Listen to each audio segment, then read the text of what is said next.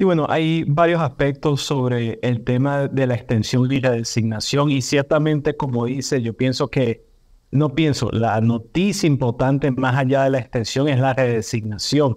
El hecho que hay miles y miles de familias venezolanas que ingresaron a los Estados Unidos después de marzo del 2021 hasta el 31 de julio de este año. O sea, son muchísimas las personas que quedaron afuera y otro grupo muy interesante, aquellas personas que ya estaban aquí bajo la primera designación y nunca aplicaron. Y cantidad de personas han venido a mi oficina, abogado, porque yo no creía que me iba a beneficiar, o porque pensaba que era el asilo era suficiente, o porque me dijeron que no lo hiciera por una cantidad de razones eh, que honestamente no tenían ningún sentido. Esto es una oportunidad, es una segunda oportunidad para que ellos que perdieron, se les fue el tren la primera vez y ahora tienen esa oportunidad de hacerlo ahora.